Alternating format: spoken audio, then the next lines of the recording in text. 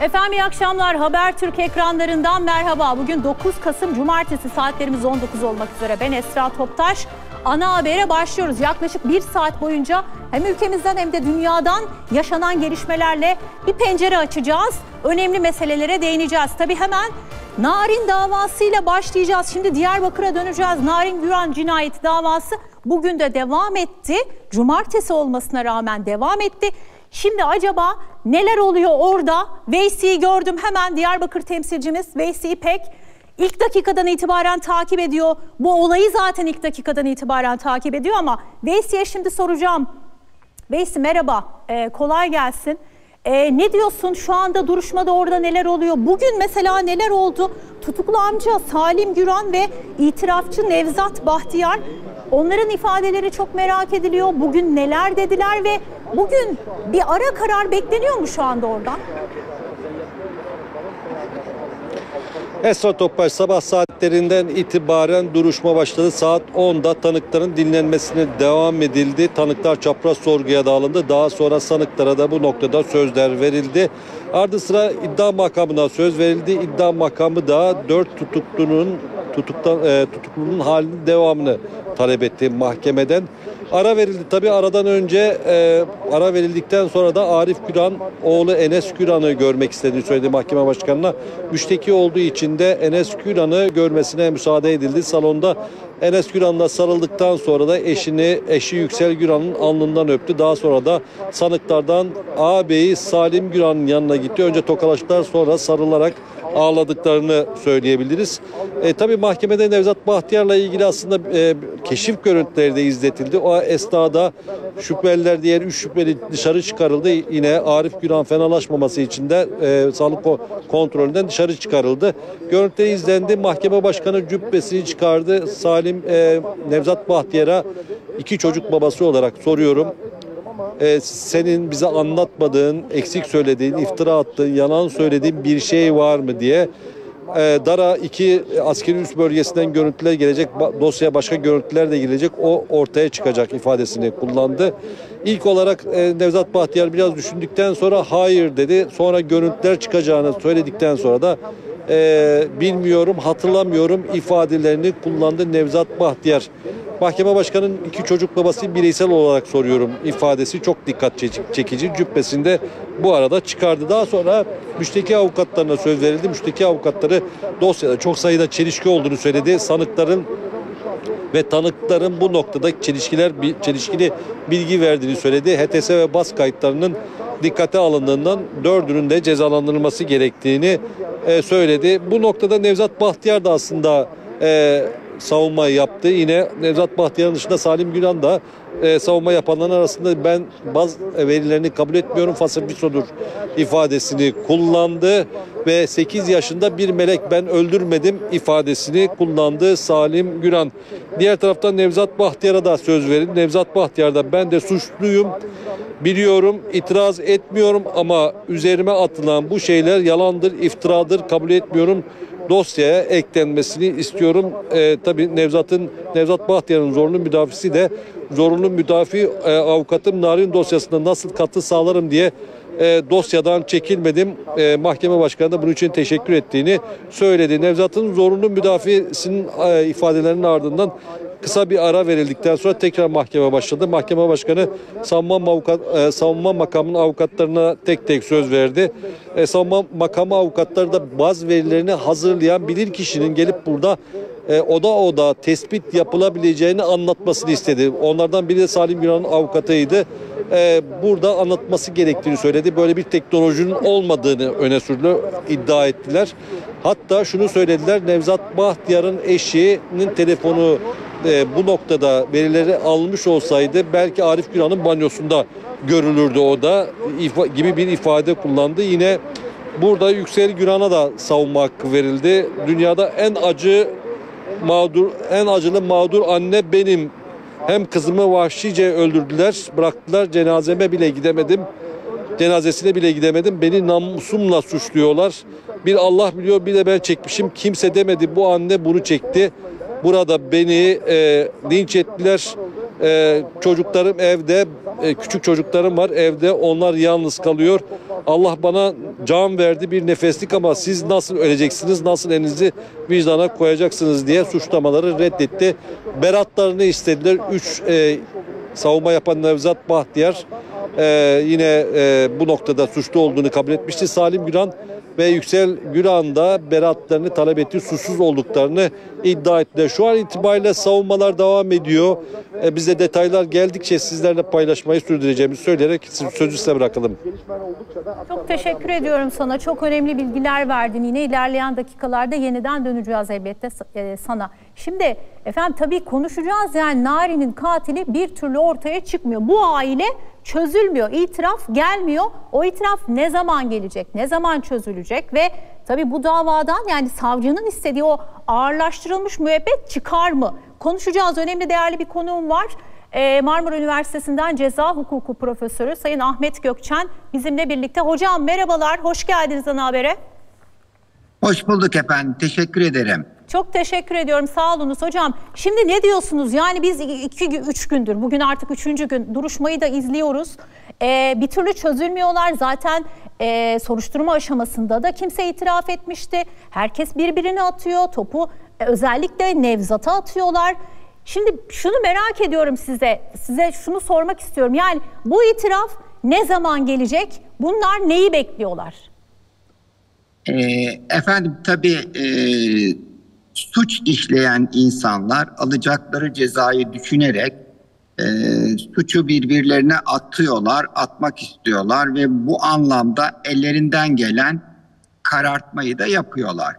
Ancak e, tabii ki e, adli teşkilatımız bu işlenen vahim cinayeti çözebilecek konumdadır. Esasen failleri e, iddianamede savcılık makamı göstermiştir. Yani dört kişinin bu suçu birlikte işlediklerini söylüyor.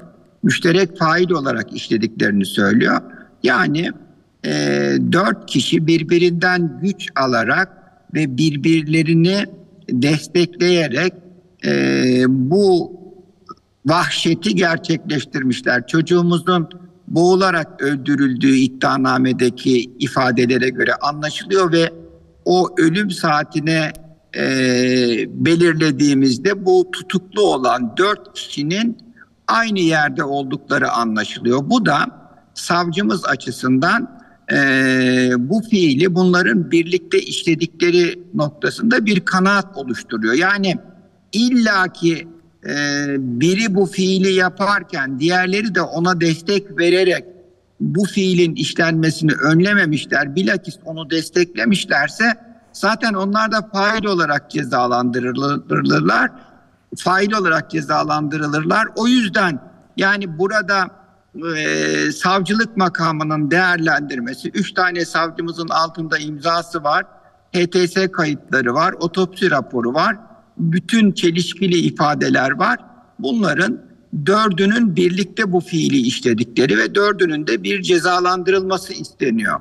Hocam, yani e, evet buyurun. Bu ya e, bölüyorum ama şunu da merak ediyorum. Yani acaba kararı mı bekliyorlar itiraf için? Yani e, bu dosyadan zaten biraz sonra Salim'in avukatının e, savunmasını da okuyacağım. Yani diyor ki elinizde delil yok. Yani suçlayamazsınız, müebbetle suçlayamazsınız, yeterli delil yok diyor. Bu minvalde bir şeyler söylüyor.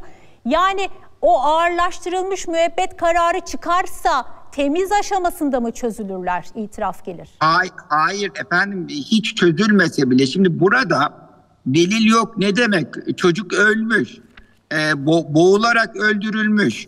E, o, o saatte bu kişiler hepsi aynı yerde saklamışlar, gizlemişler, delil yok olur mu? Bunların hepsi delil. Ee, bunların hepsi delil ve e, savcılık makamımızın bugüne kadar yaptığı araştırmalar neticesinde vardığı kanaat dördünün bu fiili birlikte işlediği. Yani şöyle düşünün e, Esra Hanım, biri elinden tutuyor, biri efendim hani bu bu çocuğumuz üzerinden örnek vermeyelim de bir yağmadan örnek verelim. Biri elinden ellerini tutuyor, biri başına silah dayıyor, diğeri de cüzdanını alıyor. Böyle düşünün. bunların her biri faildir ve her biri cezalandırılır. Yani ceza hukukunda dışarıdan baktığınız gibi yani birisi yaptı sadece o suçu işledi değil. Bunların her biri fail olarak görev görülüyor ve burada e, asıl olan bu delillere göre hakimlerimizin vicdani kanaatidir. Yani yüzde yüz bir itiraf elde, edil, elde edilmiş olsa bile o itirafa güvenilmez. İşin maddi hakikati, maddi gerçeği araştırılır. O yüzden yani e, baz istasyonu verileri, çocuğun ölmüş olması ve bunlara ilişkin mevcut diğer beyanlar e, ve e, otopsi raporları, HTS kayıtları, telefonlardaki mesajlaşmalar hepsi dikkate alındığında e, bu olayı izleyen hakim heyeti bunu fiili kimin e, bir doğrudan icra ettiğini, hangisinin ise e, doğrudan fiili işlemese bile fiilin işlenmesine yardım ettiğine karar verecek. Ama bütün şüpheler bu dördünün üzerinde toplanıyor ve savcılığın değerlendirmesi dördünün de ağırlaştırılmış müebbette cezalandırılması Evet, yönünde. hocam bunu şunun için sordum. Yani işte bu amca Salim'in avukatı diyor ki savunmasında aynen ifadesi şu. e, mevcut iddianame bu olaya yakışmamıştır diyor avukat. İddianamede detaydan irtibatlandırmadan yoksundur bu iddianame diyor. Dört sanık cımbızla seçilmiştir. Alelacele tenzip yazılıp yargılama hızlandırılmıştır diyor. Yani şunu demeye getiriyor yani yeterli deliliniz yok diyor. Ben de bu savunmanın ışığında size bunu sormak istedim. Yani bu elimizdeki dosyada bu deliller ışığında eee, ne dersiniz hocam ağırlaştırılmış müebbet çıkar mı? Şimdi efendim savunma makamı ifade özgürlüğü vardır. Tabii ki her şeyi söyleyebilir. Ama takdir edersiniz ki delilleri hakim takdir edecek.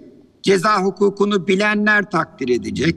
Olaydaki hiçbir zaman e, efendim savunma avukatları suçu işlediğini çoğu zaman kabul etmezler. Yani onların kabul etmesini de beklemeyiz. Ee, kabul etmesini de beklemeyiz ama yani o arkadaşımızın konuştuğu, yaptığı savunmalar e, boşuna savun, ya boş sözler. Hani delil yok, yeterli deliliniz yok tarzındaki beyanı bir hukukçuya yakışan bir beyan olarak görmüyorum ben. Yani delil var da hani bununla mahkum edemezsiniz demek istiyor ama Evet. neticede e, ortada da e, bu suçu bu dört kişinin işlediğine dair ciddi şüpheler var. Dolayısıyla bu ciddi şüpheleri dikkate aldığımızda mahkeme heyeti birebir bu tarafları dinleyerek karar verecek ve verdiği kararı istinaf mahkemesi ve yargıtayda değerlendirerek sonuca ulaşacaklar. Yani burada illaki birisinin bunu işte ben şu şekilde yaptım demesine Gerek yok. ihtiyaç yok. Önemli olan, önemli olan hakimlerin kanaatidir. Zaten onun için bağımsız ve tarafsız bir mahkemede yargılanmak sanıkların en önemli hakkıdır. Burada da hakimlerimiz olaylara göre, vicdani kanaatine göre bir karar verecek ve bu kararından dolayı da kimse onları suçlayamaz. Ee, ve bu verilen kararlar istinaf ve yargıtayda da ay- ayrıca hakimler heyeti tarafından değerlendirilecek. Bu şekilde düşünmek lazım Yani tabii efendim. bütün kamuoyu bu itirafa kilitlendiği için soruyorum ama siz çok Evet. değerli bilgiler veriyorsunuz. Şu anda diyorsunuz Buyurun ki, efendim. diyorsunuz ki yani itirafa gerek yok. Önemli olan E, oradaki elbette ki aksi takdirde her işlenen cinayette itiraf aramak gerekir. Yani öne- önemli olan hiç- maddi deliller. önemli olan deliller, maddi deliller, bilimsel deliller, buna ilaveten onlardan da önemlisi mahkemenin kanaati. Vicdani kanaat. Ha- e, ceza muhakemesi kanunumuza göre hakimlerimiz e, olaylarla ilgili olarak hukuka uygun şekilde elde edilmiş delillere dayalı olarak vicdani kanaatlerine göre karar verirler. E, o burada hukuka aykırı elde edilmiş hiçbir delil yok. vicdani kanaatlerine göre mesela siz efendim nasıl hissediyorsunuz? Ben nasıl hissediyorsam bu işin içinde olan insanlar da ona göre e, hakimlerimiz bu konuda daha çok tecrübelidirler. Dolayısıyla avukatlar tabii ki savunmalarını yapacaklar müvekkillerinin beyanları doğrultusunda ama e, delil yok demek çok e, yani anlamsız bir söz. Bu kadar delil varken yok demek çok hani işin tabiatına aykırı. Onu arz etmek istedim efendim. Çok teşekkür ediyorum hocam. Çok sağ kıymetli katkılarınız için. Çok teşekkürler. Tekrar çok sağ olunuz. Devam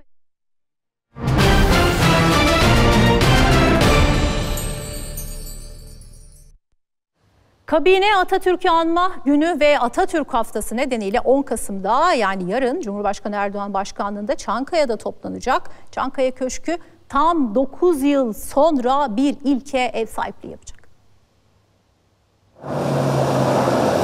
9 yıl sonra bir ilk gerçekleştirilecek. Kabine toplantısı Çankaya Köşkü'nde yapılacak.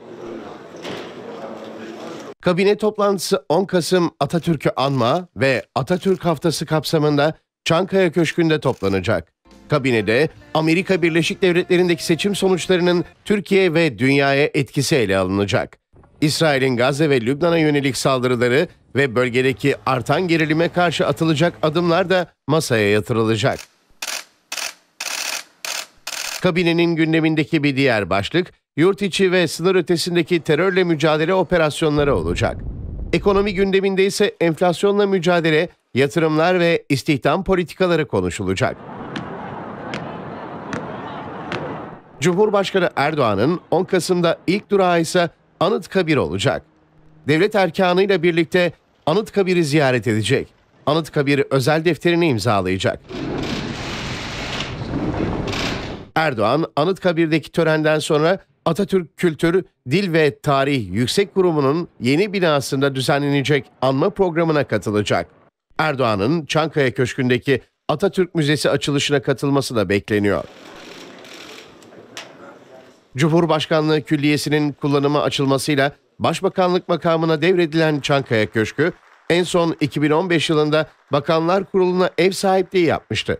Yeni kabine üyelerini de Haziran 2023'te Çankaya Köşkü'nde ilan etmişti.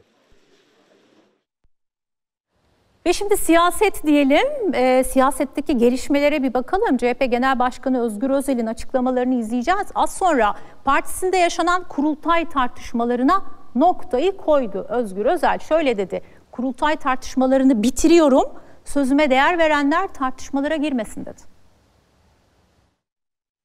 Tüm milletvekillerimize ve partililerimize şunu ifade ediyorum. Cumhuriyet Halk Partisi Genel Başkanı olarak bu tartışmayı bitiriyorum. Bundan sonra hiçbir Cumhuriyet Halk Partilinin böyle kendi içine dönük gündemlerle partiyi ve kamuoyunu meşgul etmemesi gerekir. CHP Genel Başkanı Özgür Özel'in yerel seçimden sonra attığı normalleşme adımları son dönemde kurultay seslerinin yükselmesine neden olmuş. Hatta parti içi muhalefetin olağanüstü kurultay için hazırlık yaptığı iddia edilmişti. Özel iddialara kimse benden kurultay dilenmesin diyerek yanıt vermişti. Özel'in sözlerini değerlendiren CHP İstanbul Milletvekili Oğuz Kağan Salıcı, kurultay haktır, CHP genel başkanları padişah değildir dedi. CHP örgütünde kurultay tartışması yapıldığı için oy kaybedilmemektedir. Bilakis oy kaybedildiği için kurultay tartışması yapılmaktadır. Oy kaybının nedenini tabanda siyaseten kabul görmeyen politikalarda aramak gerekmektedir. CHP'de kurultay bir lütuf değil haktır. CHP'de gerekirse kurultaya gidilir. CHP'nin her genel başkanı son derece saygındır ancak padişahta değildir. Salıcı'nın açıklaması sonrası Özel'e İzmir'deki programı sırasında kurultay tartışmaları soruldu. CHP lideri tartışmaya noktayı koydu. Haklı haksız demeden bütün haklılardan bütün haksızlar adına ben özür diliyorum. Artık bu tartışmayı, bu lüzumsuz tartışmaları bir yana bıraksınlar. Cumhuriyet Halk Partisi'nden sözüme değer veren herkesi asla ve asla bu tartışmalara girmemeye de çağırıyorum. Özel, CHP'de kimse birbirine laf yetiştirmeyecek. Onu da partinin vicdanına havale edin dedi. Biz Cumhuriyet Halk Partisi olarak neyi tartışıyoruz? Birbirimizle neyi paylaşamıyoruz? Önümüzde önemli bir görev var. Partiyi birinci parti yapıp Cumhuriyet Halk Partisi'ni, Atatürk'ün partisini iktidar yapacağız. Partideki gidişattan memnun olmayan kim varsa partinin zaten tüzüğü açıktır. Sokakta olmayan bir tartışmayı sosyal medyada sürdürmesinler. Sokakta açlık, yoksulluk, işsizlik tartışılıyor. Ülkenin gündemine döneceğiz. Evet Özgür Özel böyle dedi. Bu tartışmayı bitiriyorum dedi. Şimdi İçişleri Bakanı Ali Yerlikaya'nın açıklamalarıyla devam edelim. Balıkesir'de konuştu bakan. Gündeminde 3 belediyeye kayyum atanması bu e, tartışmalar vardı. Teröre kaynak aktarmak belediyecilik değildir dedi. Dem Partili Mardin, Batman ve Halfeti belediyelerine atanan kayyum sonrası çıkan olaylarda 235 kişinin de gözaltına alındığını açıkladı. Terörle iltisakın hendeyi değildir belediye. Terörle ilişki kurmak, teröre kaynak aktarmak, teröriste sahip çıkmak, sağa sola laf yetiştirmek belediyecilik değildir. Şehir eminleri terörle yandaş olamaz. Terörün siyaseti olmaz. Terörle sadece ama sadece mücadele edilir. Sayın Cumhurbaşkanımızın ifade ettikleri gibi kimsenin Türkiye'yi terör örgütleri vasıtasıyla tehdit etmesine izin vermeyeceğiz. Mardin, Batman ve Halfeti belediye başkanlıklarına başkan vekili görevlendirildikten sonra çeşitli illerde eylemler gerçekleştirilmiş. Toplam 235 şüpheli yakalanarak buradaki bu eylemler vesilesiyle gözaltına alınmıştır. Ayrıca sosyal medya hesapları üzerinden suç unsuru paylaşım yapan toplam 217 hesap tespit edilmiş ve hesap yöneticileri hakkında gerekli işlemler başlatılmıştır. Kayyumlarla ilgili bir açıklama daha var. AK Parti Genel Başkan Yardımcısı Hamza Dağ, Hatay Kırıkhan'da partisinin ilçe kongresine katıldı. Dağ, belediyelere atanan kayyumlarla ilgili konuştu. Şöyle dedi, devletin hesap sorması millete karşı sorumluluğudur. Terör örgütü PKK ile iltisaklı olduğu için Cumhuriyet Halk Partili bir belediyeye görevlendirme yapılması Atatürk'ün partisini yönetenler için utançtır. CHP'nin geldiği nokta işte tam burasıdır. Hem de işbirliği yaparsan bu başın beladan kurtulmaz. Devlet yerel yönetimlerde bu şekilde bir tasarrufta bulunurken partisine göre hareket etmemektedir. Bu tür görevlendirmelerde kıstak kişinin terörle kurduğu bağlantıdır. Ancak baktığımızda hem CHP hem de Demliler her zaman olduğu gibi bugünlerde de kamuoyunu yanlış yönlendirmektedirler. İşin hakkıyla yapan, Türkiye Cumhuriyeti kanunlara uyan, PKK'ya destek, can simidi ve kalkan olmayan vatandaşa hizmet eden belediye başkanına kimse karışmaz. Ancak terör örgütüne selam çakan, sadakat yeminine kandile bağlı olan belediye başkanlarına da devletin hesap soruşturması millete karşı sorumludur. Şimdi yine siyaset diyeceğiz ve siyasetin ana manşetlerinden biriyle devam edeceğiz. Biliyorsunuz son günlerde hatta bir haftadır Ankara Büyükşehir Belediye Başkanı Mansur Yavaş'la ilgili e, bir takım tartışmalar var. Bu 29 Ekim nedeniyle düzenlenen konserlerin bütçesiyle ilgili aslında bu tartışmalar bir soruşturmada başlatılmıştı. Mansur Yavaş bu soruşturmaya ilişkin konuştu. 11 Kasım pazartesi günü detaylı bir açıklama yapacağını duyurdu. Mansur Yavaş ayrıca partisinin lideri Özgür Özel'in iddia ettiği bir MIT soruşturması iddiası var biliyorsunuz. Bu da yine e, siyasetin önemli manşetlerinden biri. Bu MIT soruşturması hakkında Ankara Adliyesi'ne dilekçe verdiğini açıkladı. Bir itiraz geldiği zaman e, bunu mutlaka teftişe veriyoruz. Bu ihaleleri yapan kültür dairemizdir. O dairenin sorumluları da gerekli bilgileri bize veriyorlar. Önceki dönemde paraların har vurulup harman savrulması onların alışkanlığı. Biz bu sistemi yok etmek için geldik. 29 Ekim konserlerinin bütçesiyle ilgili iddialara dair konuştu. Soruşturmadaki son duruma ilişkin 11 Kasım'da açıklama yapacağını duyurdu. Pazartesi günü saat 3'te çok detaylı bir açıklama yapacağız. Bütün e, Türkiye'nin de izlemesini isterim açıkçası. Canlı yayınlıyoruz her şeyde olduğu gibi. Bir görsünler bakalım e, hesap kitap neymiş. Hatası olan varsa da bizzat benim imzamla e, savcılığa gider. Şimdiye kadar yapılan şey odur. Kendi dönemimde de 56 tane teftiş yaptırdım. Ankara Büyükşehir Belediye Başkanı Mansur Yavaş, Ankara'nın Keçiören ilçesindeki cemevi açılışı sonrası gazetecilerin sorularını yanıtladı. CHP Genel Başkanı Özgür Özel'in Milli İstihbarat Teşkilatı'nın Ankara Büyükşehir Belediyesi hakkında özel bir araştırma yaptığına yönelik iddiasına değindi. Sayın Genel Başkanımız bu açıklamayı yaptıktan sonra e, dün yanlış hatırlamıyorsam MİT Başkanı böyle bir şeyin olamayacağını, kurumsal olarak böyle bir görev tanımlarının olmadığını söylediler. Ancak ben Ankara Adliyesi'ne böyle bir çalışmanın olduğunu haber verdim. Yeni bir dilekçe verdim. Nedir böyle bir çalışma var mıdır? Varsa aslı nedir? Nereden icap etmiştir diye. Yavaş, kendisine yönelik saldırıların kimseye fayda sağlamayacağını da belirtti. Veremeyeceğimiz hiçbir hesabımız yok.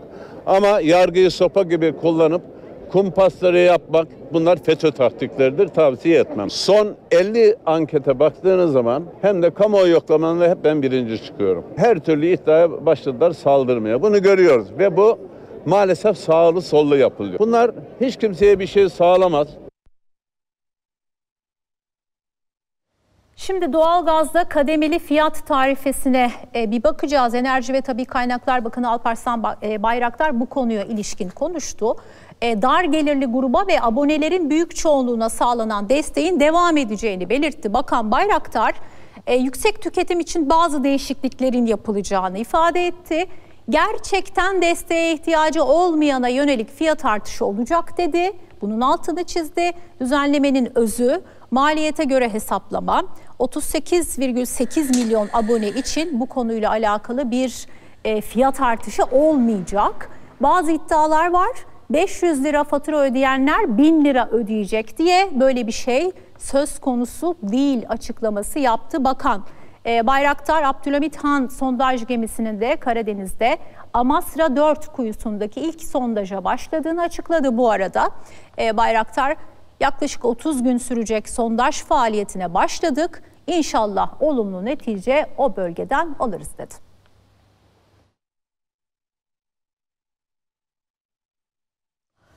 Şimdi tabii ekonomiyle devam edelim ve aslında hepimizi ilgilendiren bir e, haber var sırada. Ev sahibi, kiracı arasındaki meselelerden biri. Şimdi özellikle elden ödeme yapan kiracılar var biliyorsunuz. Bu kiracıları ilgilendiren bir haber vereceğim. Şimdi şöyle İstanbul'da oturan bir kiracı 6 yıl boyunca bakın 6 yıl boyunca iddiaya göre tabii ev sahibinin isteği onun talebi üzerine kirayı elden ödedi e, ev sahibine. Ev sahibi kiraya zam yapmak isteyince de anlaşamadılar. Konu mahkemeye gitti, davalık oldular. Şimdi elden ödeme yaptığını iddia eden kiracı ödemelerini ispatlayamayınca davayı kaybetti. Mahkeme 6 yıl, yıllık kiranın ev sahibine ödenmesine hükmetti. Bakın. Müvekkilim 6 yıl boyunca kiralarını ödemişken şimdi bu mahkeme kararıyla ödemiş olduğu 6 yıllık kirayı faiziyle beraber tekrar ödemek zorunda kaldı. Hem de kira bedellerinin ödenmemesinden dolayı tahliyesine hükmetti. İstanbul'da artan kira bedelleri kiracılarla ev sahiplerini karşı karşıya getirmeye devam ediyor. Adliyelerdeki kiracı ve mülk sahibi dosyalarında yaşanan ciddi artışa çözüm için arabuluculuk şartı getirilse de arabulucuda anlaşamayıp dava yoluna giden tarafların sayısı da bir hayli fazla. İstanbul Üsküdar'da oturan bir kişi iddiasına göre ev sahibinin talebi üzerine kirasını 6 yıldır elden ödüyordu. İşte bu durum 6 yılın sonunda evden çıkarılması için bir numaralı sebep olarak gösterildi. 6 yıl boyunca kiraları elden ödüyor ve karşılığında makbuz almıyor. Makbuz almadığı için kiraları ödediğini ispat edemiyor. Ee, bu nedenle mahkeme müvekkilimin bu 6 yıllık kirayı ödemesine karar verdi. Tabii biz kararı istinaf ettik. Ee, hukuki yollar daha bitmedi. Ücreti ödediğini iddia eden kiracı tahliyenin ve ücret talebinin reddini istedi. Ev sahibinin yüksek kira artışı talebini kabul etmediği için anlaşmazlık yaşandığını iddia etti. Ancak mahkemede delil olarak sadece WhatsApp yazışmalarını sunabildi. İcra Hukuk Mahkemesi de bu yazışmayı delil saymadı. Kiracıların mutlaka kira bedellerini banka yoluyla ya da elden vereceklerse mutlaka makbuz alma koşuluyla vermeleri gerekiyor. Öte yandan 4 Kasım'da yürürlüğe giren e-devlet sistemi üzerinden kira sözleşmesi uygulamasının kiracı ve ev sahibi uyuşmazlıklarına büyük oranda çözüm getirmesi bekleniyor. metre 6 dakika mesafede. Evet izledik arkadaşımız muhabir arkadaşımız Ceylan Sever e, uyarı niteliğinde çok önemli bir uyarı niteliğinde bu haberi yaptı. Aman dikkat diyelim siz siz olun kirayı elden ödemeyin mutlaka o banka dekontunuz olsun elinizde. Şimdi efendim Sağlık Bakanı Kemal Memişoğlu Antalya'da aile hekimliği sistemindeki değişiklikler hakkında konuştu. Şöyle dedi iyi hekimlik yapan aile hekimlerimizin gelirini artırıyoruz. Bu arada Yeni Doğan Çetesi skandalı o e, bebek katilleriyle ilgili o skandal sonrası da tüm yeni doğan yoğun bakımların işleyişlerinin de yeniden değerlendirileceğini söyledi. Akılcı ilaç uygulamalarını teşvik ediyoruz. Aile akılcı ilaç kullanımına katkı sağlayan aile hekimlerimizin de maaşlarına ilave bir teşvik ödemesi yapıyor ve hekimlerimizi destekliyoruz. Yeni aile hekimliği yönetmeliğine değindi. Hekimlerin maaşlarında kesinti yapılacağı iddialarına cevap verdi. Çeşitli sosyal mecralarda aile hekimlerinin bundan sonra ilaç yazamayacağı, ilaç yazması durumunda maaşlarından kesinti yapılacağı şeklinde iddialar dile getiriliyor. Yeni aile hekimliği yönetmeliği aile hekimlerinin tanı ve tedavisine müdahale etmiyor, reçete yazma özgürlüğünü de ortadan kaldırmıyor. Sağlık Bakanı Kemal Memişoğlu Antalya'da gazetecilerin sorularını yanıtladı. Yeni yönetmelikle aile hekimlerinin gelirini artırmayı hedeflediklerini söyledi. Aile hekimliği uygulamasında özellikle hastalık yüküne göre çalıştık. Aile hekimlerini hastanelerle entegre ediyoruz. Sağlıkta değer bazlı bir yaklaşımla aile hekimliği üzerinden bir başlangıç yaptık.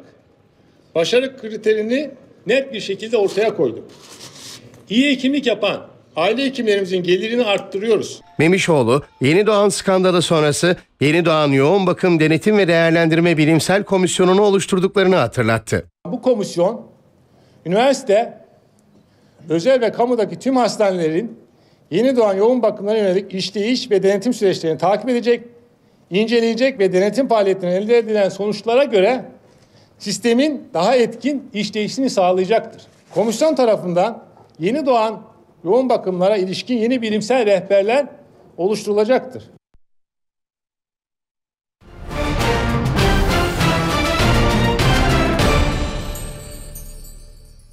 Ve ana habere Orta Doğu'daki sıcak gelişmelerle devam edeceğiz. Tabi İsrail ve Hamas arasında hala ateşkes ve rehine takası müzakerelerinde bir sonuç yok. Malum anlaşmaya bir türlü varılamadı, varılamıyor. Şimdi Reuters'tan bir iddia var çok dikkat çekici. Diyorlar ki en son Ekim ayında tarafların anlaşmaya varamaması üzerine ABD'nin Katar'dan Hamas'ın Doha'dan çıkarılmasını istediğini iddia etti diyor. Reuters'ın iddiası bu. Ajans Katar'ın İsrail ve Hamas'tan ateşkes müzakerelerinde samimi bir istek görene kadar da ara buluculuktan çekildiğini ileri sürdü.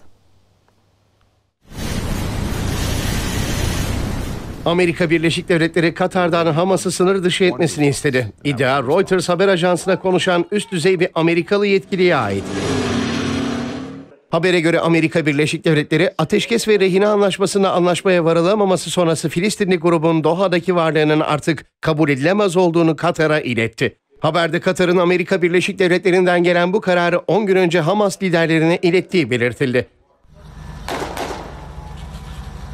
Reuters ayrıca Katar'ın Hamas ve İsrail'in samimi bir istek gösterene kadar Gazze'de ateşkes müzakereleri için ara buluculuklarından çekileceğini açıkladı. Katar'ın bu konudaki kararını İsrail, Hamas ve Amerikan yönetimine bildirdiğini ileri sürdü. Katar'ın ayrıca Doha'daki Hamas'ın siyasi ofisinin artık amacına hizmet etmediğini açıkladığını iddia etti.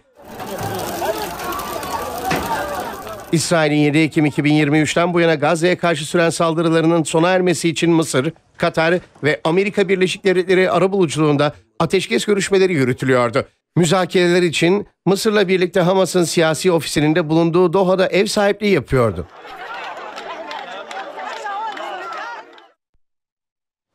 Şimdi bu kararı bir konuşalım, değerlendirelim istiyorum. Katar'ın bu kararını ve tabii Gazze'deki ateşkesin geleceğini konuşacağız. Kiminle? Anadolu Ajansı Dış Politika Analisti Özcan Tikit'le konuşacağız. Bizimle birlikte Özcan'ı da gördüm.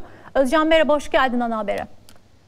Merhabalar, iyi yayınlar Esra. Çok teşekkür ederim. Ne dersin? Yani öncelikle şunu sorayım. Yani neden böyle bir karar aldı Katar? Sonrasında tabii sonuçlarını da konuşalım. Evet, e, aslında şunu biliyorduk. Yani Amerika Birleşik Devletleri uzunca bir zamandır e, Katar'a bir baskı yapıyordu. İlk başta e, bu baskı e, Hamas'ı bir e, e, esir takasına mecbur etmeye yönelikti. Aslında e, bunu da e, açıklamak lazım e, tekraren çünkü belli ki farklı bir manzara ortaya çıkarılmak isteniyor. Bir ateşkes anlaşması ve esir takası Gazze'de. Bunun yapılabilmesi için e, devam eden müzakereler var ve e, bizzat Amerika Birleşik Devletleri'nin ortaya koyduğu teklifi daha önce e, Hamas kabul etti. E, ama kabul etmeyen taraf İsrail'di. Buna rağmen Amerika Birleşik Devletleri burada suçlu olarak İsrail'e yüklenemediği için güçsüz bulduğu tarafa Hamas'a yüklenmeyi tercih ediyor Netanyahu'ya yüklenmektense. E, ve e, biliyorsunuz 2012 yılından beri de Katar e, Hamas'a ev sahipliği yapıyor. Daha öncesinde Suriye'deydi Hamas'ın siyasi ofisi. İşte Suriye'deki Arap Baharı'ndan sonra değişti. E, şimdi e, Hamas Amerika Birleşik Devletleri'nin biliyorsunuz aynı zamanda 7 vatandaşı da Hamas'ın elinde. E, İsrail hem İsrail hem Amerikan vatandaşı olan 7 kişi de bu rehinelerin arasında. Daha önce biri de öldürüldü. Ee, İsrail'in operasyonu sırasında öldürüldü. Bunu da söylemek lazım. Ee, şimdi dolayısıyla Hamas'ı ikna edemeyince karşılıksız bir şekilde rehineleri serbest bırakmaya bu sefer Katar'a baskı kurmaya başladı. İşte Katar'a e, siyasi bürosunu kapatma e, ve e, bir şekilde e, Hamas'ı e, hiçbir şey almadan İsrail'in isteklerine uyma e, ya zorlamaya çalıştı. Yani müzakere dediğiniz şey nasıl olur? E, taraflardan biri bir şey verir, öteki bir şey verir. E, orta yolda buluşulur. Ama Karşılıklı burada Amerika tavizlerle değil mi? Evet, evet ama burada gördüğümüz kadarıyla Amerika Birleşik Devletleri'nin e, daha çok da İsrail'in müzakereden anladığı şey bu değil.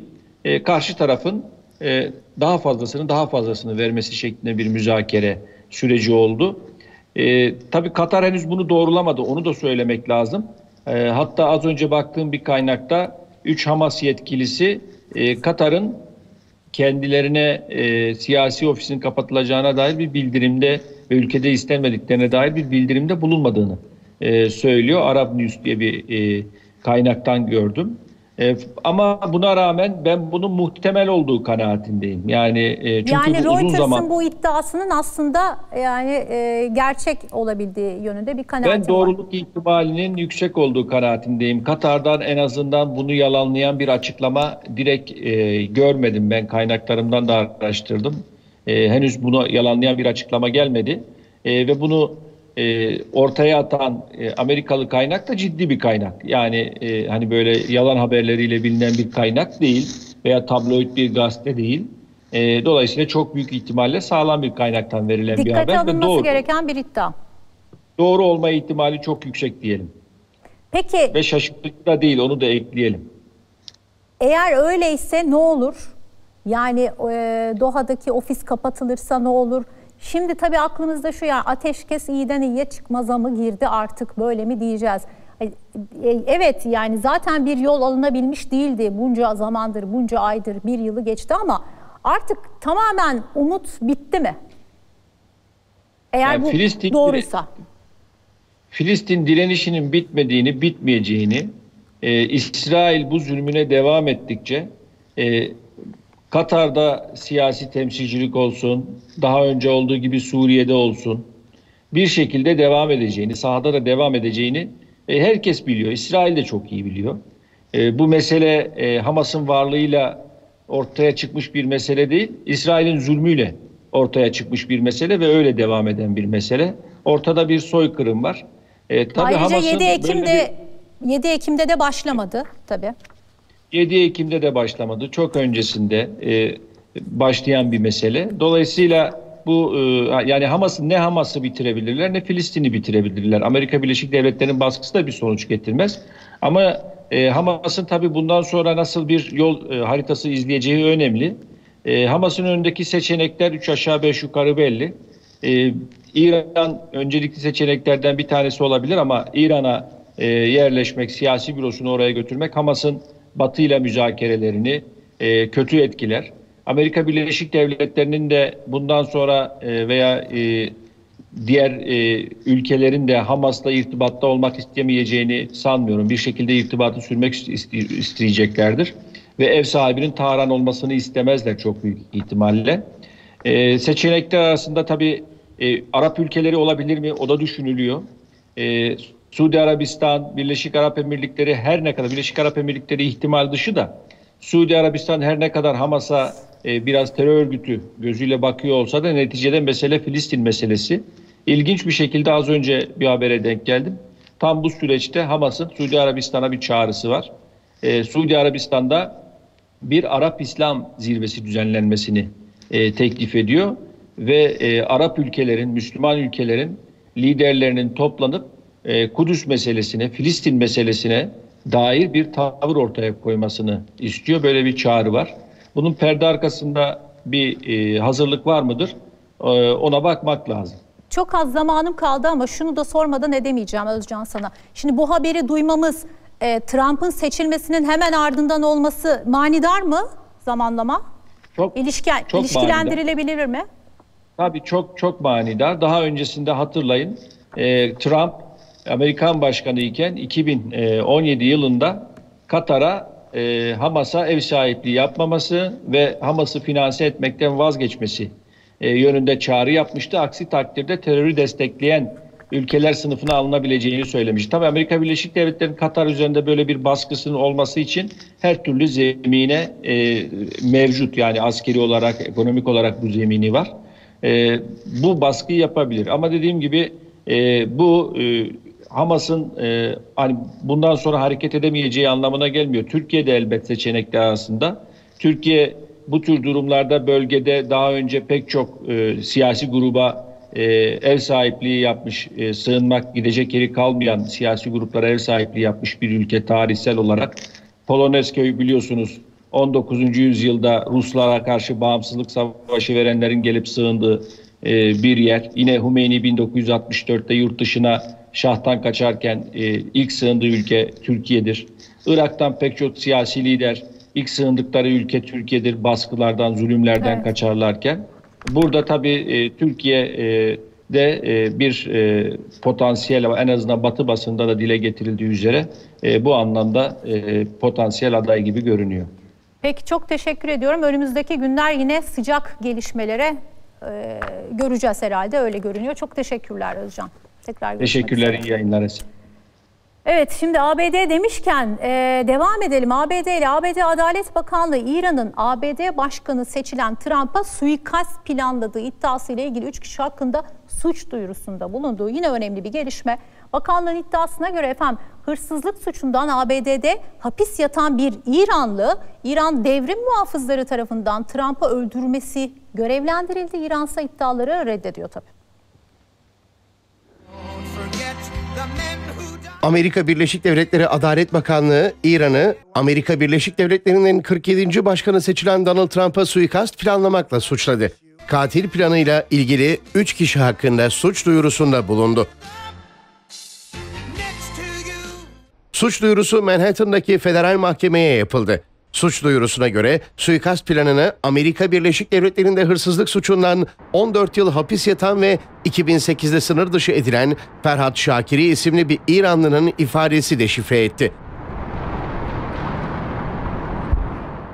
FBI'ye konuşan Şakir'i, İran devrim muhafızları mensubu bir yetkilinin kendisiyle irtibata geçtiğini söyledi. Trump'ı öldürmek için suikast planı hazırlaması amacıyla görevlendirildiğini anlattı. Şakir'in iddiasına göre suikastın eğer gerçekleşmezse başkanlık seçimi sonrasına ertelenmesi talimatını aldı. İfadesinin ardından Şakir ile birlikte suikast planına dahil olmakla suçlanan iki kişi gözaltına alındı. Suçlamanın Trump'ın başkanlık seçimini kazanmasından birkaç gün sonra açıklanması dikkati çekti. İran Dışişleri Bakanlığı Sözcüsü İsmail Bekai ise iddiaları reddederek tamamen asılsız ve kabul edilemez olduğunu söyledi. İran devrim muhafızlarının Kudüs gücü komutanı Kasım Süleymani 2020'de yani Trump'ın başkanlığının ilk döneminde Bağdat Havalimanı'ndaki saldırıda öldürülmüştü. Amerikan basınında son gelişmenin İran'ın Süleymani'nin intikamını almak için çaba içerisinde olduğunu gösterdiği şeklinde yorumlandı. Peki şimdi bir Miçotakis'in açıklamalarına bakalım. Yunanistan Başbakanı Miçotakis Budapeşte'deki AB gayri resmi zirvesinin ardından Türkiye'ye ilişkin açıklamalarda bulundu. Miçotakis ikili ilişkilerde istikrarın muhafaza edilmesinin halkların yararına olacağını söyledi. Yunanistan Başbakanı Kyriakos Mitsotakis, Türkiye ile Yunanistan arasındaki ilişkilerde istikrarın muhafaza edilmesinin halkların yararına olacağını söyledi. Mitsotakis, Avrupa Birliği dönem başkanı Macaristan'ın başkenti Budapeşte'de düzenlenen Avrupa Birliği gayri resmi zirvesinin ardından basın toplantısı düzenledi. Budapeşte'de Cumhurbaşkanı Recep Tayyip Erdoğan'la gerçekleştirdiği gayri resmi görüşmeye değinen Mitsotakis, iki ülke arasındaki ilişkilerde normalleşme hedefinin esas olması gerektiğini belirtti.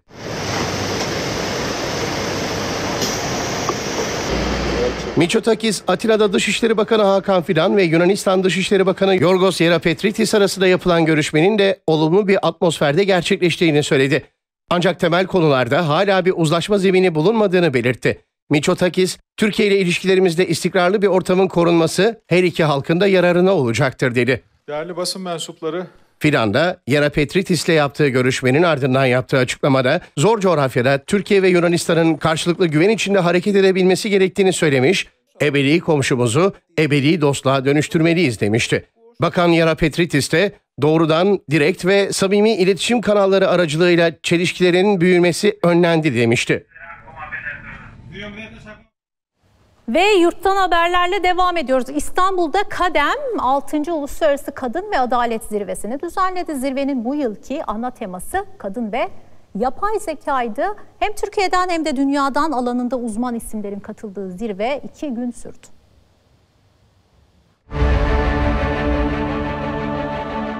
Yapay zekanın geleceği konuşuldu. Kadın, aile ve toplum üzerindeki etkileri tartışıldı. Kadın ve Adalet Zirvemizin altıncısını gerçekleştiriyoruz e, bu sene ve konumuz yapay zeka ve kadın. Kadın ve Demokrasi Vakfı'nın düzenlediği ve iki gün süren zirvede çok sayıda oturum ve söyleşi yapıldı. Yapay zeka şu anda dünyayı dönüştürücü bir teknoloji olarak karşımızda duruyor. Bununla birlikte kadın alanında da neler yapacağı önemli bir soru işareti. Bu işin etik tarafı ne olacak, katılımcılık tarafı ne olacak, kadın erkeğin adil temsili nasıl? Cumhurbaşkanı Erdoğan'ın eşi Emine Erdoğan da zirvenin resepsiyon yemeğine katıldı. Yapay zekanın olumsuz etkileri olduğunu söyledi. Araştırmalar denetimden ve etik kaygılardan yoksun bir şekilde geliştirilmiş yapay zekanın toplumsal adaletsizlikleri derinleştirebileceğini ortaya koyuyor. Bilhassa kadınlar yapay zekanın olumsuz sonuçlarından doğrudan etkileniyor. İsrail-Filistin savaşında görev yapan foto muhabir Bilal Hales de zirvede konuşanlar arasındaydı. Gazeteci Hales, Gazze'deki soykırımda kadın ve çocukların yaşadıklarını anlattı. Gazze'de çaresiz hissetmediğimiz hiçbir an olmadı. Çünkü her gün birbirinden kötü olaylara şahit olduk. İnsanların, çocukların, kadınların yardım çığlıklarını, çağrılarını duyuyoruz. Maalesef bu bize her gün daha çaresiz hissettiriyor. Efendim şimdi evlilikle ilgili kim ne düşünüyor ona bir bakacağız. Malum son yıllarda artık boşanmalar arttı. Bunu biliyoruz. Bu bilinen bir gerçek artık. Özellikle gençlerin evlilikle ilgili düşünceleri de değişti. Öyle görünüyor. Z kuşağı gençlerin çoğu evliliğe artık hayli mesafeli. Uzun yıllardır evli olan mutlu çiftlere göre ise hayat yalnız geçmez. Peki evlilik hakkında kim ne düşünüyor? Sokağa sorduk bakalım ne dediler? Bu kadınla evliyim. Ben de bu adamla evliyim. Peki evliliği tavsiye ediyor musunuz, öneriyor musunuz? Hiç etmiyorum. Hiç etmiyoruz. Evli çiftlerden bazıları böyle söylerken bazıları ise 52. 52 yıldır evlisin. Evet. Gençlik geçiyor. İleriki yıllarda evlilikler artık arkadaşlığa dönüşüyor. Birbirine insanın ihtiyacı var. Yalnız kalmak da var. son dönemde evliliğe bakış açısı değişti. Özellikle de gençlerin. Şu an artık güvenilecek insan yok. Kimseye, yani kimsenin kimseye güveni yok. Bence evlenmek diye bir şey olmaması gerekiyor. Gezmek, tozmak gerekiyor. Evlilik Çok güzel, çok kutsal ama e, bu ortamda, bu şartlarda artık evlilik diye bir şey kalmadı. Ne sevgi ne saygı hiçbir şey yok. Evli misiniz, bekar mısınız? Çok şükür bekarım. Evli düşünmüyorum. Kafa böyle rahat. Artan boşanmalarda evlilikle ilgili düşünceleri etkiliyor.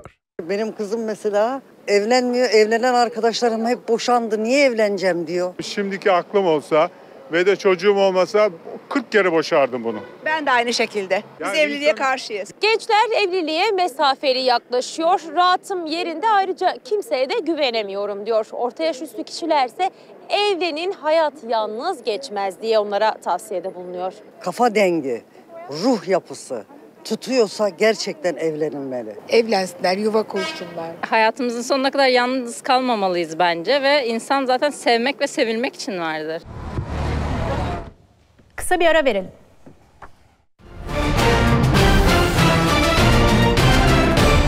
Ve ana haberin sonuna geldik. Ben kapatıyorum ama lütfen hiçbir yere ayrılmayın. Az sonra Eren Eğilmez gerçek fikrine ile karşınızda olacak. Bu programı da sakın kaçırmayın. Yarın akşam yine 19'da görüşeceğiz. Ana Haber'de hoşçakalın. Habertürk'te kalın.